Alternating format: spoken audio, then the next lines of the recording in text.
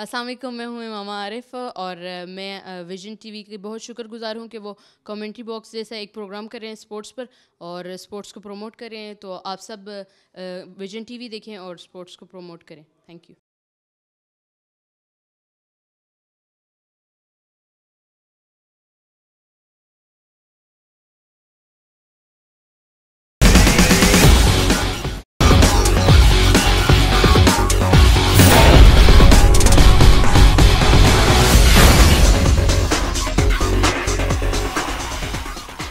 بسم اللہ الرحمن الرحیم، السلام علیکم۔ میں ہوں آپ کا خواجہ شایان اور کمنٹری باکس کے اس ایپیسوڈ میں آپ سب کو ویلکم کرتا ہوں۔ ناظرین، آج ہم بات کریں گے ایشز سیریز کے سیکنڈ ٹیسٹ کے حوالے سے۔ انڈیا ورسز سری لنکا کے تھرڈ ٹیسٹ کے حوالے سے بات کریں گے۔ شرجیل خان صاحب کی پریس کانفرنس کے حوالے سے بات کریں گے۔ انڈر نائنٹین ورلڈ کپ کے حوالے سے بات کریں گے اور ہمارا ایک اور ٹاپک ہے پی ایس ایل ہمیں جوائن کیا ہے۔ احتشام الحق صاحب نے سینئر کرکٹ انالسٹ ہیں۔ Thank you so very much sir آپ نے ہمیں جوائن کیا۔ تو سر ایشز سیریز سے سٹارٹ کرتے ہیں۔ ایشز سیریز کا سیکنڈ میچ ہوا ہے جس میں شان مارش نے ون ٹوئنٹی سکس اسکور کا جو ہے ہدف جو ہے وہ انہوں نے ایک اس کو سیٹ کیا ہے اور مین آف دا میچ رہے ہیں۔ سیکنڈ میچ بھی آسٹریلیا جیتا ہے۔ کیا کہیں گے اس بارے میں؟ دیکھیے آسٹریلیا ورسز انگلینڈ جو ایشز سیریز کے سلسلے کا دوسرا ٹیسٹ میچ تھا جو کہ ایڈیلیڈ اوول میں کھیلا گیا۔ یس اس ٹیسٹ میچ میں جو آپ مجھ سے آپ آف دا ایئر بھی بات کر رہے تھے کہ اتشام صاحب ٹرننگ پوائنٹ کیا ہے۔ تو ٹرننگ پوائنٹ شایان اس ٹیسٹ میچ میں پہلی اننگز کی لیڈ ہے جو لاسٹ پروگرام ہم نے کیا تھا کیونکہ آپ کا ذہن بھی بڑا زرخیز ہے آپ کو یاد ہوگا میں نے کہا تھا پہلی اننگز کی لیڈ کون سی ٹیم لیتی ہے؟ یہ دیکھنا ہوگا۔ تو پہلی اننگز میں دو سو پندرہ رنز کی بہت بڑی لیڈ آسٹریلینز نے حاصل کی. آسٹریلیا کی ٹیم نے چار سو بیالیس رنز بنائے آٹھ کھلاڑی آؤٹ ہوئے تھے جس میں مارش نے زبردست بیٹنگ کی تھی. ایک سو چھبیس ناٹ آؤٹ اور پھر پین نے بھی ستاون رنز بنائے تھے. تو میں یہ سمجھتا ہوں کہ چار سو سے زائد کا جو ہنسا ہوتا ہے اس کا بھی بہت بڑا پریشر ہوتا ہے. تو آسٹریلیا ورسز انگلینڈ جو دوسرا ٹیسٹ میچ ہوا ہے ایک طرح سے یہ بھی یک طرفہ ہی ہوا ہے کیونکہ ایک سو بیس رن سے آسٹریلیا کی ٹیم نے اس ٹیسٹ میچ میں کامیابی حاصل کی اور سیریز میں دو میچز اب وہ جیت چکی ہے۔ اگر ایک اور ٹیسٹ میچ جو پرتھ میں کھیلا جائے گا وہ جیت جاتی ہے تو سیریز پھر ان کے نام ہو جائے گی ایشیز ان کے نام ہو جائے گی۔ بالکل تو میں یہ سمجھتا ہوں وائٹ واش میں تو ابھی دو ٹیسٹ میچز اور ہیں تیسرے کے بعد پانچ ٹیسٹ تو میں میں یہ سمجھتا ہوں کہ جو آسٹریلیا کا پیس اٹیک ہے Mitchell Starc out standing bowler ہے. دنیا کے ٹاپ کے لیفٹ آرم سیم بالرز میں اس کا شمار ہوتا ہے فاسٹ بالرز میں اس کا شمار ہوتا ہے. اس کے پاس جو کوالٹی ہے وہ گیند کو ریورس سوئنگ بھی کرتا ہے یوکل لینتھ پر بھی کرتا ہے رب کیج میں بھی گیند کرتا ہے باؤنسرز بھی کرتا ہے تو اس کے پاس اچھی خاصی ورائٹی یعنی موجود ہے. ورائٹیز ورسٹائل بولر ہیں بالکل. دوسرا اس کے پاس پیس موجود ہے. اور جو ایڈلیڈ اوول کی جو پچ تھی وہاں پر پیس بھی تھی وہاں پر باؤنس بھی تھی اور گیند وہاں پر بریک بھی ہو رہا تھا. تو بڑی اچھی پچ وہاں پر تیار کی گئی تھی. تو Mitchell Starc then Hazlewood Hazlewood دنیا کے جو ٹاپ کے اکنومیکل بالر ہیں جو سوئنگ بالر ہیں اس میں اس کا شمار ہوتا ہے۔ پھر پیٹ کمنز بڑا اچھا نپی بالر ہے۔ پھر نیتھن لائن ان کا مستند آف سپنر ہے۔ تو یہ چار بالرز کو آزمایا آسٹریلین ٹیم نے چاروں بالرز نے پرفارم کیا۔ سب کے سب بالرز نے شایان وکٹس لیے کسی ایک بالر پر پریشر نہیں تھا کہ آپ ہی آؤٹ کریں گے آپ نے یہ سارا کچھ کرنا۔ Proper team work proper team work تھا۔ چاروں کے چاروں بالرز نے وکٹس حاصل کی اور سب سے زیادہ وکٹیں اس پورے میچ کی۔ اگر ہم بات کریں تو مچل سٹاک کی آٹھ وکٹیں ہیں غالباً اس کی۔ کیونکہ دوسری اننگز میں تو اس نے پانچ کھلاڑیوں کو آؤٹ کیا۔ تو میں یہ سمجھتا ہوں کہ جس طرح انگلینڈ کے اینڈرسن نے بڑی زبردست بالنگ کی اور ایک سو اڑتیس پر جو آسٹریلیا کی مضبوط ٹیم آؤٹ ہوئی اس میں اینڈرسن کی شاندار سوئنگ بالنگ تھی۔ بڑی عمدہ اس نے لائن اور لینتھ کے ساتھ گیند کو موو کیا۔ ووکس نے بڑی اچھی بالنگ کی۔ تو انگلینڈ کا جو پیس اٹیک ہے اس میں جو مائنس چیز میں دیکھ رہا ہوں مچل سٹاک کے لیول کا کوئی بالر نہیں ہے۔ تو یہ ایک فرق ہے۔ اور دوسرا انگلینڈ کی ٹیم میں ایلسٹر کک جو کہ ایکس کیپٹن ہے اور جو ٹیسٹ کرکٹ میں سب سے زیادہ رنز بنانے والا انگلینڈ کا بیٹسمین ہے۔ جب تک ایلسٹر کک بڑی اننگز نہیں کھیلے گا جب تک جو روٹ بڑی اننگز نہیں کھیلے گا جب تک انگلینڈ کے ٹاپ کے جو پانچ چھ بیٹسمین ہیں جو ایز اے جن کے اوپر بیٹسمین ٹیم ڈیپینڈ کرتی ہے ریسپیکٹ ٹو بیٹنگ بالکل جو ایز اے بیٹسمین ٹیم میں موجود ہیں ان میں سے دو چار کو بڑی اننگز کھیلنی ہوں گی ایک دو بڑی پارٹنرشپس بلڈ کرنی ہوں گی تب جا کر ٹیم کا سکور جو ہے وہ تین سو سے تجاوز کرتا ہے۔ تو سر کیا یہی ویکنٹ سپیسز آپ کو لگتی ہیں کہ جو انگلینڈ فلفل نہیں کر پا رہا جس کی وجہ سے اس کو بار بار شکست کا سامنا کرنا پڑ رہا ہے؟ دیکھیں انگلینڈ کی ٹیم میں الیسٹر کوک اور جو روٹ اگر ہم بیٹنگ کی بات کریں تو ان پر انگلینڈ کی ٹیم بہت زیادہ ڈیپینڈ کرتی ہے۔ جس طرح ہم آسٹریلینز کی بات کریں تو وارنر اور سٹیون سمتھ ان پر بہت زیادہ ٹیم ڈیپینڈ کرتی ہے۔ بٹ یو نیور نو کہ مارش آ گیا اس نے سو کر دیا کوئی اور پلیئر ایسا آیا انپریڈکٹیبل پلیئر آ کے کوئی انپریڈکٹیبل ہی کھیل کھیل جاتا ہے۔ مارش تو اچھا پلیئر ہے ان کا۔ ماضی میں بھی وہ آسٹریلیا کی جانب سے اچھی پرفارمنسز دیتا رہا ہے۔ تو میں یہ سمجھتا ہوں کہ جو جو مائنس پوائنٹ میں دیکھ رہا ہوں انگلینڈ کی جانب سے کیونکہ میں یہ سمجھ رہا تھا کہ جو لاسٹ ڈے ہوگا اس میں جو روٹ جو چوتھے دن جب کھیل ختم ہوا تھا سکسٹی سیون یعنی سڑسٹھ رنز بنائے تھے ناٹ آؤٹ تھا ووکس ناٹ آؤٹ تھا کہ ان کے درمیان ایک اچھی پارٹنرشپ ہو جائے گی روٹ سو کرے گا میچ کلوز ہو جائے گا میچ انٹرسٹنگ ہو جائے گا اور شاید انگلینڈ کی ٹیم میں جو ہے وہ ایک نئی تاریخ رقم کرنے میں کامیاب ہو جائے اور سیریز ایک ایک سے لیول ہو جائے پھر بقیہ تین ٹیسٹ میچز جو ہیں ان کی ہائپ بہت بن جائے بڑھ جائے گی بن جائے گی لیکن ایسا ہوا نہیں ہے۔ اور انگلینڈ کی ٹیم ٹوٹلی کولیپس کر گئی۔ اور میں سمجھتا ہوں پہلی اننگز میں دو سو ستائیس رنز دوسری اننگز میں دو سو تینتیس رنز تو یہ کوئی ٹیسٹ کرکٹ کی جو ٹیم ہوتی ہے اس کا کوئی اچھا سکور نہیں ہے۔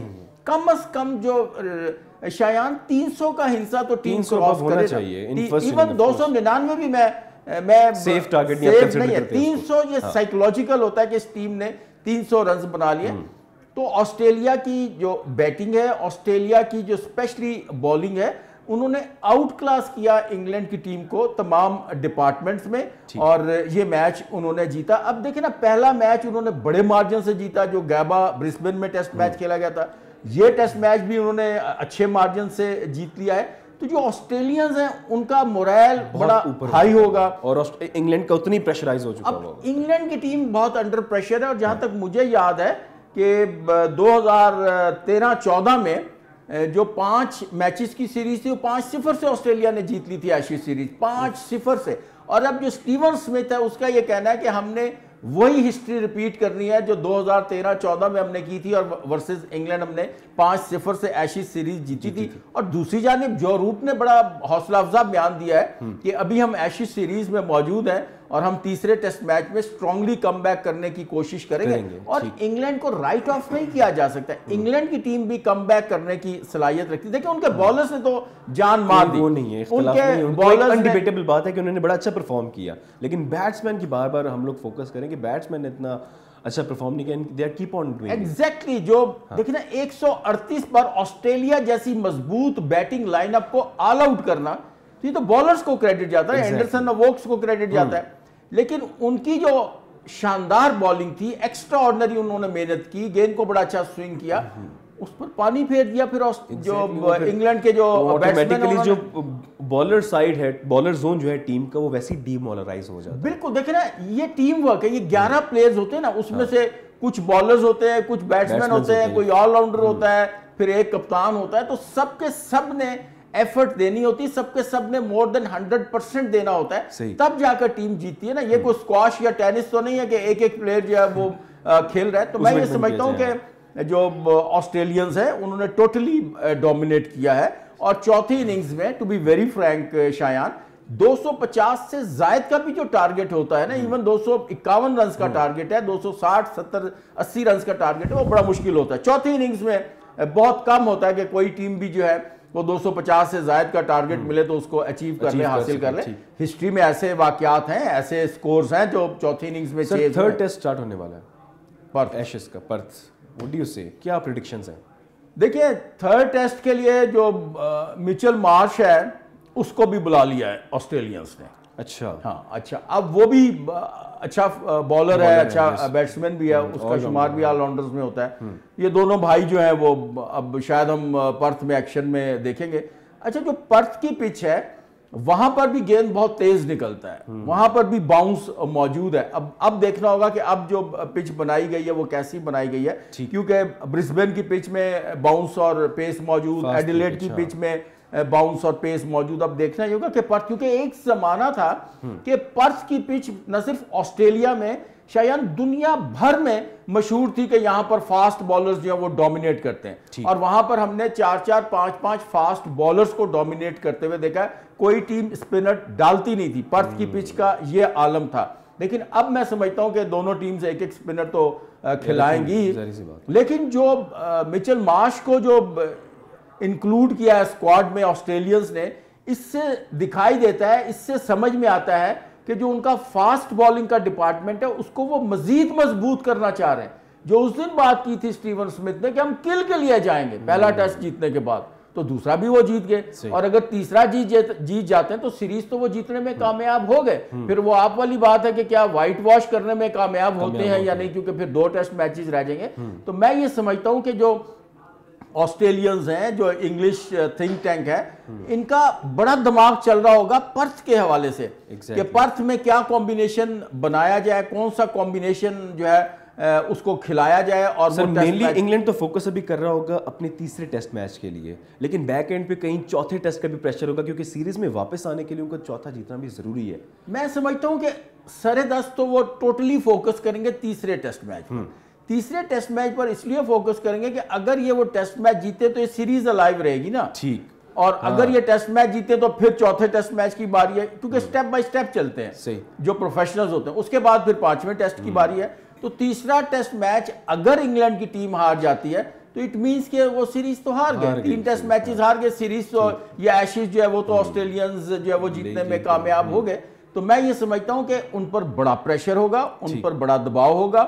الیسٹر کک پر سب سے زیادہ Shayan to be very frank pressure ہوگا کہ الیسٹر کک ان کا مین بیٹسمین ہے اس سے رنز نہیں ہوگا اس کو پرفارم کرنا پڑے گا۔ اس کو پرفارم کرنا پڑے گا۔ دیکھو نا سٹون مین ہے یا ونز ہے یا اور ان کے جو بیٹسمین ہیں ان پر ڈیپینڈ نہیں کر سکتی انگلینڈ کی ٹیم۔ بے شک وہ پچاس کر جائیں اسی کر جائیں سو کر جائیں جو ان کے ڈیپینڈیبل بیٹسمین ہیں وہ الیسٹر کوک اور جو روٹ ہے اور دونوں ٹیکنیکلی بہت سٹرونگ ہے مینٹلی بہت سٹرونگ ہے لیکن یہ پریشر میچ ہے اور آؤٹ آف فارم جو بیٹسمین ہوتا ہے اس کو فارم میں آنے کے لیے ایک یا دو بڑی اننگز کھیلنی ہوتی ہیں۔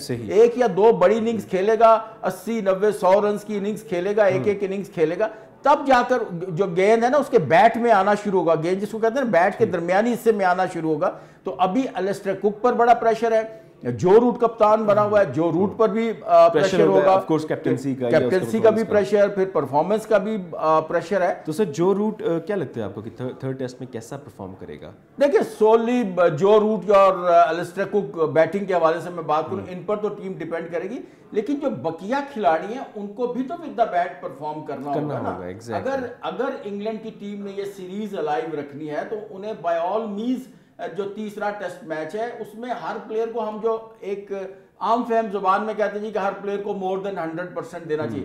تو یہاں پر تو میں کہوں گا ون ففٹی پرسنٹ سے زائد دینا ہوگا ہر پلیئر کو انگلش پلیئرز کو۔ تاکہ انگلینڈ کی ٹیم کم بیک کرے اور یہ تیسرا ٹیسٹ میچ جیتے تاکہ سیریز الائیو رہے۔ تو میں یہ سمجھتا ہوں کہ اس میں پریشر میں اس وقت انگلینڈ کی ٹیم ہوگی دباؤ میں اس وقت انگلینڈ کی ٹیم ہوگی اور رائٹ آن ٹاپ آسٹریلیا کی ٹیم ہے۔ اب آسٹریلینز کی سوچ اور اپروچ بھی بڑی پروفیشنل ہے۔ دیکھ رہے ہیں انہوں نے مچل مارش کو جو سکوارڈ میں شامل کیا دیٹ شوز کہ ان کی سوچ اور اپروچ کیا ان کی ان کی ذہن یا ان کا ان کی سوچ کیا ہے وہ لوگ کسی کو سپیر نہیں کرتے۔ مجھے یاد ہے جب زمبابوے کی ٹیم بڑی لائٹ ٹیم ہوتی تھی بڑی ہلکی ٹیم ہوتی تھی میتھیو ایڈن اور گلکرسٹ۔ یہ اوپن کرتے تھے تو یہ سپیر نہیں کرتے تھے. یہ بالکل جو ہے نا زبردست بیٹنگ کرتے تھے تھریش کر دیتے تھے انسیٹل کر دیتے تھے سب کے سب بالرز کو. اور پھر آسٹریلیا جو پانچ دن کا ٹیسٹ ہے وہ تین دن میں جیت جاتا تھا. اور جو ون ڈیئر میچز ہیں وہ بڑے مارجن سے جیت جاتا تھا. تو میں نے جب ایک دفعہ ان سے پوچھا ان سے میری بات ہوئی تو انہوں نے کہا کہ جب ویک ٹیم آپ کے سامنے ہے تو آپ بڑے مارجن سے میچ جیتے نا تاکہ دنیا کو کنوے اور میسیج کہ یہ ویک ٹیم تھی ہم سٹرونگ ٹیم تھے.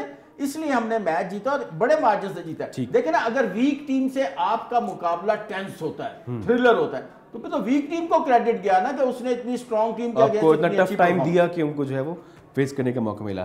اچھا ناظرین یہاں لینا میں ایک چھوٹا سا بریک ہمارے ساتھ رہیے گا۔ Take a break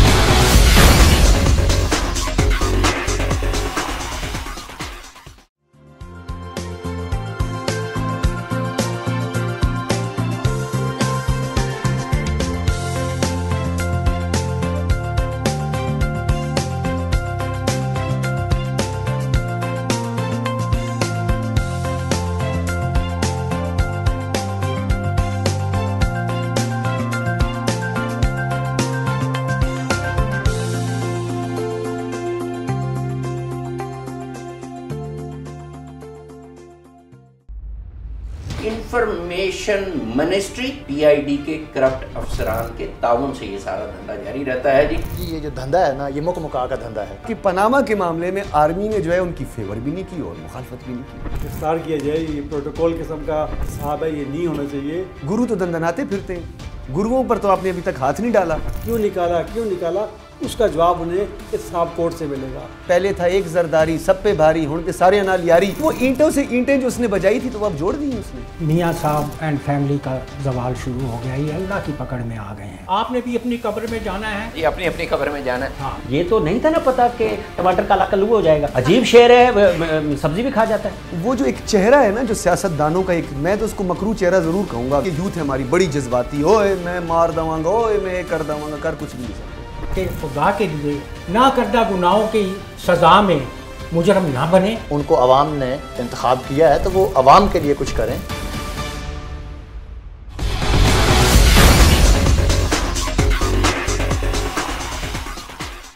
welcome back viewers اب بات ہو رہی ہے کرکٹ کے ہاٹ ایشوز کے حوالے سے۔ اچھا سر یہ بتائیں کہ انڈیا ورسز سری لنکا تیسرا ٹیسٹ میں انڈیا جیت چکا وراٹ کوہلی نے جو ہے دو سو ٹیسٹ ڈرا ہوا۔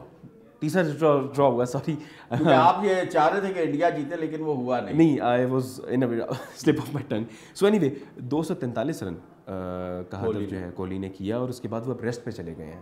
سو ابھی جیسے آپ کچھ دیر پہلے بریک سے پہلے بات کر رہے تھے کہ ایک ویک ٹیم جو ہے وہ اگر ایک کہیں نہ کہیں ٹف ٹائم دے ہارڈ ٹیم کو جیسے کہ سری لنکا کی طرف میرا اشارہ ہے کہ ویک ٹیم ہے اور انڈیا جو ہے وہ اسٹرانگ ٹیم تھی تو کریڈٹ کہیں نہ کہیں سری لنکا کو جاتا ہے کہ انہوں نے ٹیسٹ کو تیسرے کو ڈرا کر دیا۔ آئی اگری شایان کی جو تیسرا ٹیسٹ میچ سری لنکا کی ٹیم کھیلی ہے زبردست پرفارمنس اس نے دی. یہ ٹیسٹ میچ ڈرا ضرور ہوا ہے۔ کرکٹ کی بکس میں ہسٹری میں لکھا جائے گا کہ تیسرا جو ٹیسٹ میچ تھا دہلی میں جو کھیلا گیا. وہ ڈرا ہوا ہے۔ لیکن میں کہوں گا کہ یہ جو سری لنکن ہے ان کی آلموسٹ جیت ہے۔ یہ۔ کیونکہ سری لنکا کی ٹیم کا جب میں موازنہ کرتا ہوں انڈیا کی ٹیم سے تو کوئی موازنہ بنتا نہیں ہے. نہ بیٹنگ میں نہ بالنگ میں۔ تو میں یہ سمجھتا ہوں کہ سری لنکنز نے یہ ٹیسٹ میچ ڈرا کر کے بہت بڑا کارنامہ سر انجام دیا ہے۔ آپ دیکھیں کہ انڈیا کی ٹیم دونوں اننگز میں پوری آؤٹ نہیں ہوئی۔ پہلی اننگز میں پانچ سو چھتیس رن سات کھلاڑی آؤٹ۔ دوسری اننگز میں دو سو چھیالیس رن پانچ کھلاڑی آؤٹ۔ تو سری لنکا کے پاس ایسے بالرز نہیں تھے جو پوری ٹیم آؤٹ کر سکے اور ٹیسٹ میچ ہمیشہ وہ ٹیم جیتتی ہے جس کے پاس بیس آؤٹ کرنے کی صلاحیت ہو۔ تو میں یہ سمجھتا ہوں کہ انڈیا نے جو پہلی اننگز میں بڑا سکور کیا تھا پھر دوسری اننگز میں رنز بنائے تھے اور جو ٹارگٹ دیا تھا سری لنکن ٹیم کو بالکل بہت مشکل وہ ٹارگٹ تھا چار سو دس رنز کا غالباً ٹارگٹ تھا بہت مشکل ٹارگٹ تھا۔ لیکن سری لنکنز کی جانب سے جس طرح ریزسٹنس میں نے دوسری اننگز میں دیکھی ہے تو آؤٹ سٹینڈنگ پرفارمنس میں کہوں گا اس میں دننجیا جو ہے اس نے ایک سو انیس رنز بنائے روشن سلوا نے چوہتر رنز بنائے ڈکویلا نے چوالیس رنز بنائے۔ تو انہوں نے بڑا رزسٹ کیا اور دیٹس وائی انڈیا کی ٹیم یہ ٹیسٹ میچ جیت نہیں پائی تو full credit to Sri Lankan team کیونکہ سری لنکا کی ٹیم انڈیا کی ٹیم سے خاصی کمزور کمزور ہے۔ اس کے علاوہ پہلی شکستوں کا بھی ان کو سامنا کرنا پڑا۔ کافی جو ہارے ہیں اس سے پہلے پاکستان سے بھی وہ پریشر لے کے جا رہے ہیں۔ پھر اس کے بعد ایگزیکٹلی اس کے بعد پھر انڈیا سے وہ دو ٹیسٹ ہارے اور تیسرے میں آگے پھر ڈرا کرنا تو ایک بہت بڑی بریک لگائی انہوں نے۔ انڈیا سے پہلا ٹیسٹ میچ ڈرا ہوا تھا۔ ڈرا ہوا۔ دوسرا ٹیسٹ میچ انڈیا نے جیتا۔ اور وہ بڑے مارجن سے جیتا۔ اور پھر یہ جو تیسرا ٹیسٹ میچ ہے یہ بھی ڈرا ہو گیا۔ تو تین ٹیسٹ میچز پر جو مشتمل سیریز تھی یہ دو ڈرا ہوئی اور ایک جیت لی۔ اچھا اس میں انڈیا نے ایک نیا ریکارڈ بھی بنایا ہے۔ نو ٹیسٹ سیریز جیتنے والا یہ دوسرا ملک بن گیا along with آسٹریلیا آسٹریلیا کے پاس یہ ریکارڈ موجود ہے کہ اس نے نو تسلسل کے ساتھ ٹیسٹ سیریز جیتی ہیں۔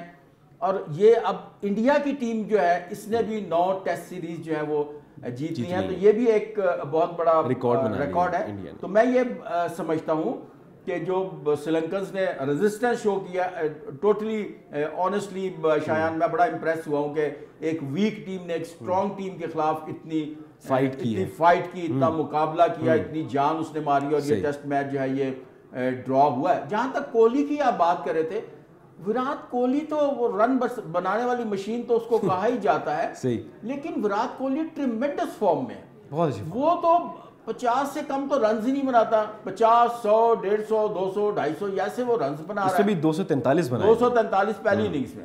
اچھا وراٹ کوہلی نے ایز اے کیپٹن چھ ڈبل سینچریز بنا لی جو کہ ایک ورلڈ ریکارڈ ہے کیونکہ. برائن لارا نے پانچ ڈبل سینچریز بنائی تھی. اس کا ریکارڈ اس نے توڑا ہے اہ, وراٹ کوہلی وراٹ کوہلی نے نے. تو وراٹ کوہلی جو ہے اس پر انڈیا کی ٹیم بہت زیادہ ڈیپینڈ کرتی ہے یہ ان کی جو بیٹنگ لائن اپ ہے اس کی بیک بون کی حیثیت حاصل ہے وراٹ کوہلی کو بقیہ بھی ان کے چار پانچ ایسے بیٹسمین ہیں جو بڑے کلاس کے بیٹسمین ہیں ورلڈ کلاس وہ بیٹسمین ہیں لیکن وراٹ کوہلی جو ہے یہ ٹیکنیکلی کریکٹ ہے مینٹلی اچھا سر یہ یہاں پہ ایک سوال میرے ذہن میں آ رہا ہے کہ وراٹ کوہلی وراٹ کوہلی وراٹ کوہلی اتنا سپاٹ لائٹ ہو چکا ہے وراٹ کوہلی۔ اگر کسی ٹیم کو جیتنا ہو انڈیا کے خلاف تو وہ سب سے پہلے اپنے بالرز کو یعنی اس طرح پریکٹس کروائے گی کہ وہ وراٹ کوہلی کو آؤٹ کر سکیں جیسے پاکستان نے چیمپئنز ٹرافی میں محمد عامر کے جو ہے وہ ایگزیکٹلی وراٹ کوہلی اور انڈیا کا آؤٹ پٹ آپ کے سامنے آ گیا تھا ایک دم سے وہ کولیپس کر گئی تھی انڈیا ایگزیکٹلی پانڈیا نے تھوڑا رزسٹ کیا تھا۔ ادروائز جو آپ نے بات کی آئی اپریشیٹ یو کہ وراٹ کوہلی کو بقیہ جو بیٹسمین ہیں ان کے بارے میں جو تھنک ٹینک ہے اس کو بڑا ہوم ورک کرنا ہوتا ہے بڑا سپیڈ ورک کرنا ہوتا ہے کہ اس کا کون سا مائنس پوائنٹ ہے کون سا سٹرونگ پوائنٹ ہے ان سوئنگ کو کیسا کھیلتا ہے آؤٹ سوئنگ کو کیسا کھیلتا ہے شارٹ پچ گیند کو کیسا کھیلتا ہے تو یہ ساری بڑا کین آبزرو کرنا پڑے بڑا گا اس کین یہ جو تھنک ٹینک ہے اس کا کام ہی یہی ہوتا ہے۔ اس کا کام یہ تھوڑی ہے کہ شاپنگ مال میں گیا وہاں پہ جا کے مال میں لے کے شاپنگ کی اور اس کے بعد اپنے ملک یا اپنے گھر آ گئے تو میں یہ سمجھتا ہوں کہ جو تھنک ٹینک ہوتا ہے اس کا اصل کام یہی ہوتا ہے۔ تو وراٹ کوہلی نے جو آپ نے بات کی تھی نا اس نے اب ریسٹ لے لیا۔ بہت اچھا اس کا فیصلہ ہے۔ اب روہت شرما کپتانی کرے گا۔ Exactly. دیکھیں وراٹ کوہلی کے ذہن میں بھی یہ بات ہے جو میرے ذہن میں ہے جو آپ کے ذہن میں ہم سب کے ذہن میں ہمارے ویورز کے ذہن میں ہے کہ اصل امتحان جو انڈین کرکٹ ٹیم کا ہے وہ ورسز ساؤتھ افریقہ ہے۔ افریقہ ہے ساؤتھ افریقہ سے جو جو انڈین ٹیم کا مقابلہ ہے جو میچز ہیں وہ دیکھنے سے تعلق رکھتے ہیں۔ ابھی تک ٹاپ فارم میں ہے انڈیا کی ٹیم لیکن versus South Africa in South Africa یہ کیسی پرفارمنس؟ دیتے ہیں؟ یہ دیکھنا ہوگا کیونکہ ڈیل سٹین بھی فٹ ہو گیا۔ اے بی ڈیویلیئرز بھی فٹ ہو گیا۔ اس نے بھی ٹیم میں کم بیک کر لیا ہے۔ تو ان کی ٹیم بڑی بیلنسڈ ہے بڑی سٹرونگ ہے۔ ساؤتھ افریقہ کو ساؤتھ افریقہ میں ہرانا بڑا مشکل کام ہے، ہے۔ تقریباً ناممکن کام ہے۔ ایک بات شایان ضرور میں بتاؤں گا کہ جس ملک کی ٹیم ہوتی ہے اس ملک میں اس ٹیم کو ہرانا بڑا مشکل ہو جاتا ہے ایگزیکٹلی اچھا اب آئیں گے ہم نیکسٹ ٹاپک پہ سر۔ اور تھوڑا سا کانٹروورشل ٹاپک ہے۔ شرجیل خان کی کانفرنس کے حوالے سے بات کروں گا سر۔ کانفرنس میں تو انہوں نے پہلے تو یہ ہے کہ ان کے اوپر اسپاٹ فکسنگ کے حوالے سے جو ہے وہ پانچ سال کے ان کے اوپر بین لگا تھا۔ اور ان کا جو بیان ہے شرجیل خان صاحب کا وہ یہ ہے کہ جی مجھے فورس کیا گیا۔ پریس کانفرنس میں حال ہی میں انہوں نے کہا کہ جی مجھے فورس کیا گیا پی سی بی کی اینٹی کرپشن کے ڈپارٹمنٹ نے کہ جو ہے وہ میں یہ الزام ایکسیپٹ کر لوں۔ کسی کسی کرنل صاحب کا نام کسی کرنل صاحب کا۔ آرمی کو انوالو کرنے کی بات کی اور سی ایم صاحب کو انوالو کرنے کی بات کی اور کہا کہ جس کو انویسٹیگیٹ کریں۔ اس نے تو یہ کہا ہے کہ مجھے بالکل آپ ٹھیک کہہ رہے ہیں کہ فورس کیا گیا۔ جو اینٹی کرپشن یونٹ ہے اس کے کوئی آفسر ہے کرنل صاحب انہوں نے مجھے فورس کیا کہ آپ یہ ایکسیپٹ کریں ورنہ آپ کی کرکٹ ختم ہو جائے گی۔ پھر اس نے کہا جی کہ میں چیف جسٹس آف پاکستان سے پاکستان آرمی چیف سے جو التجا کرتا ہوں اور اسٹینڈنگ کمیٹی کے جو لوگ ہیں ان سے میں ریکویسٹ کرتا ہوں کہ میرے کیس کو دیکھا جائے اور ایسیٹرا ایسیٹرا میں صرف ایک بات نہیں کہوں گا میں دو تین باتیں کروں گا شایان یہاں۔ ٹھیک۔ جب یہ سپاٹ فکسنگ کا معاملہ ہوا تھا جب P S L edition number دو تھا اور پہلے میچ میں یہ ساری چیزیں اوپن ہو گئی تھیں اور فرسٹ اویلیبل فلائٹ سے اس کو اور خالد لطیف کو وہاں سے پاکستان بھیج دیا گیا تھا۔ جو پاکستان کرکٹ بورڈ کے جو لیگل ایڈوائزر ہیں یا لائر ہیں تفضل رضوی ٹھیک ان کا یہ کہنا تھا جب یہ ٹرائل شروع ہوا ہے اور ایک ٹریبیونل بنایا تھا پاکستان کرکٹ بورڈ نے انہوں نے ٹرائل ان کا شروع کیا۔ تو اس کا یہ کہنا تھا کہ ہمارے پاس بہت ہی زیادہ شواہد اور ثبوت موجود ہیں۔ ہمیں کسی قسم کی کوئی پریشانی نہیں ہے ہمارے پاس بہت سے ٹھوس شواہد اور ثبوت جو ہیں ان پلیئرز کے حوالے سے موجود ہیں۔ تو میں یہ کہتا ہوں کہ اگر کوئی پلیئر سپاٹ فکسنگ میں موجود ہے یا میچ فکسنگ میں ملوث ہے۔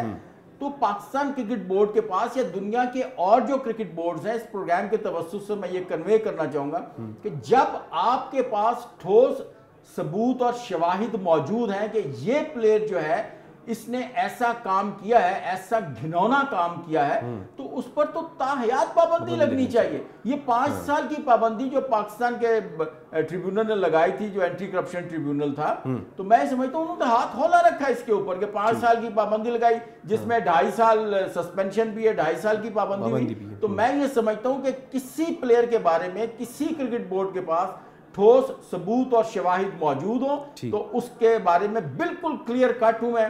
یہ میری پرسنل رائے پوری دنیا کی یہ رائے جو کرکٹ لورز ہیں تاکہ وہ اس ناسور کو یہ جو کرپشن کا ناسور ہے سپاٹ فکسنگ کا ناسور ہے میچ فکسنگ کا ناسور ہے یہ اس کو اپنے ختم کیا اپنے یہ کانفرنس کے اپنے آپ کو بچانے کے لیے کیے انہوں نے۔ یہ تو اپنے آپ کو بچائیں گے نا یہ ڈیفینڈ کریں گے کہ جی میرے سے زیادتی ہوئی ہے اور مجھے جو ہے وہ۔ یہ تو کہے گا یہی کہ میرے ساتھ زیادتی ہوئی ہے یہ یہ نہیں کہے گا کہ میں نے یہ کام کیا تھا۔ لیکن میں پی سی بی کے جو لیگل لوگ ہیں جو ایڈوائزر ہیں یا لائر ہیں ان کی میں بات کر رہا ہوں کہ انہوں نے کہا کہ ہمارے پاس تو ٹھوس ثبوت اور شواہد موجود ہیں۔